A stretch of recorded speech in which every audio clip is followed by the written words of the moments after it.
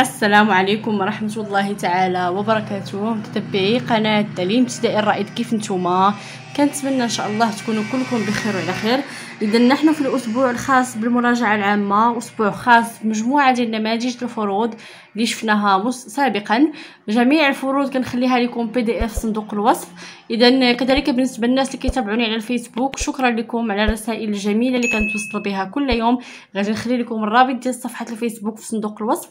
مرحبا بكم سواء على اليوتيوب أو على الفيسبوك. الأهم هو أنه يستفد معنا أكبر عدد ديال التلاميذ والتلميذات من الدروس اللي كنوضع كل يوم على القناة. بالنسبة للناس اللي كيقولوا لي أنهم ما كيتوصلوش بالإشعار ديال الدروس اللي كنحطها كل يوم حاولوا تأكدوا أنكم فعلتوا جرس الاشتراك لأنه إلا ما كانش اشتراك في القناة أكيد ما غاديش يوصلكم الإشعار ديال الدرس. مفهوم؟ جيد جدا. اذا آه، بالنسبة ل...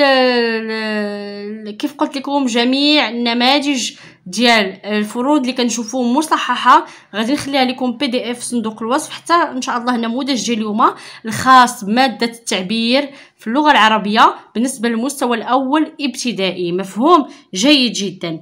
اذا نبدأ على بركة الله. أتمم بما يناسب مما يلي. جديد بارد طويل ماهر. إذا لاحظوا معايا أنه عندي هنايا مجموعة ديال الصور. غادي نحاولوا أننا نشوفوا الكلمة الأولى ونحاولوا أننا نشوفوا ناخذوا الكلمة اللي مناسبة ونحطوها في المكان المناسب ديالها. جيد. العصير ماذا؟ بارد. d'accord وهنا حاولوا أنكم تخدموا شي شوية ديال الذكاء ديالكم. يعني حاولوا تخ...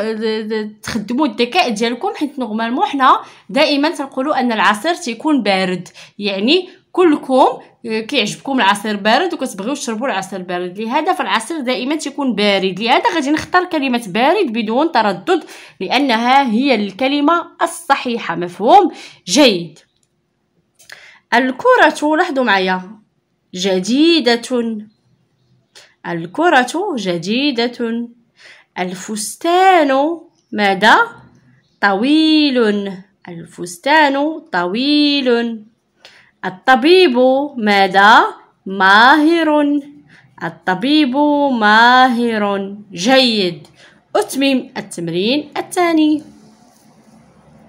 نلاحظ. نقرأ السؤال. حاولوا انني نوضح لكم الصورة ديال السؤال. من خلال ما سبق أتمم الفقرة التالية يعني إحنا مازال محتاجين لهذا الجدول هذا اللي قمنا بالملء ديالو. مازال محتاجين المعطيات اللي فيه مفهوم؟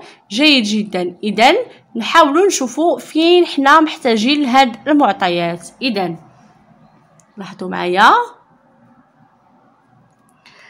ذهبت غيثة مع أمها إلى السوق. فاشترت فستانا طويلا وكرة جديدة. ثم شربت عصيرا باردا. أعيد. ذهبت غيثة مع أمها إلى السوق. فاشترت فستانا طويلا. فستانا لاحظوا معايا الصورة. فستانا طويلا وكرة جديدة. وثم شربت عصيرا باردا ثم شربت عصيرا باردا. جيد. إذا نتمم. مرضت غيثة فحملها أبوها عند طبيب ماذا ماهر. مرضت غيثة فحملها أبوها عند طبيب ماهر إذا نكون قد أجبنا على التمرين الثاني باستعمال الجدول وهو ساعدنا الجدول أكيد على أننا نجاوبه بطريقة صحيحة. مفهوم جيد جدا. نتمم التمرين رقم ثلاثة. إذا نشوفوا التمرين رقم ثلاثة. ماذا يقول؟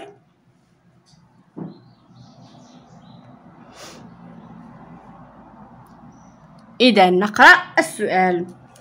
أرتب الكلمات التالية لأكون جملا مفيدة. إذا لاحظوا معايا هنا عندي مجموعة ديال الكلمات المبعثرة. نحاول أنني نرتبها للحصول على جمل مفيدة ولها معنى وخا جيد. إذا لاحظوا معايا نظيف القسم لجملة مفيدة. ماذا نقول؟ القسم نظيف. إذا أكتب القسم نظيف. هنا لدينا جميل هذا ببغاء هذا ببغاء جميل هذا ببغاء جميل. جيد. غيثة الطبيب يفحص إذا نقرأ الجملة بطريقة صحيحة. يفحص أو الطبيب يفحص غيثة ولا ممكن نقولوا يفحص الطبيب غيثة يعني جميع الحالات صحيحة. تجمع الفراش خديجة. نقرأ الجملة بطريقة صحيحة. خديجة تجمع الفراش. خديجة تجمع الفراش. خيطا يمسك أخضر خالد. إذا نقول يمسك خالد خيطا أخضر. إذا غادي نحاول أنني نقرأ لكم الجمل كلها بالطريقة الصحيحة مفهوم؟ إذا أبدأ. القسم نظيف. هذا ببغاء جميل. الطبيب يفحص غيثا. خديجة تجمع الفراش. يمسك خالد خيطا أخضر. مفهوم؟ جيد. نتمم التمرين رقم أربعة نحاول. أن نلاحظ الصور ونكتشف ماذا يوجد بها. إذا لاحظوا معايا. الصورة الأولى على ماذا تحتوي؟ الصورة الأولى تحتوي على حيوان. ما اسم هذا الحيوان؟ اسمه خروف. إذا هذا خروف.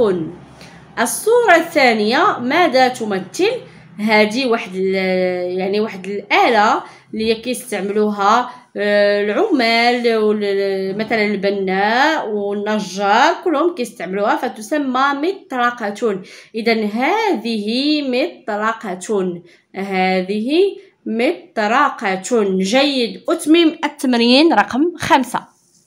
ماذا يقول؟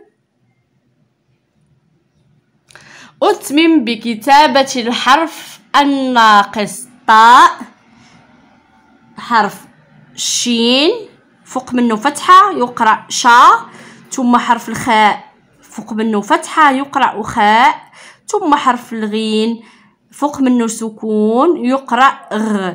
مفهوم؟ إذا هنا خولة شمس تغسل طيور. أعيد. خولة.